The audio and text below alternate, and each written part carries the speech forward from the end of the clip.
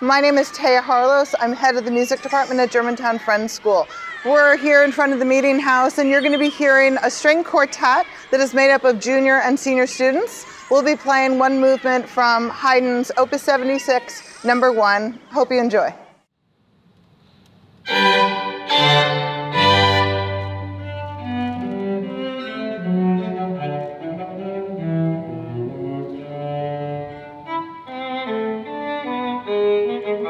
Thank you.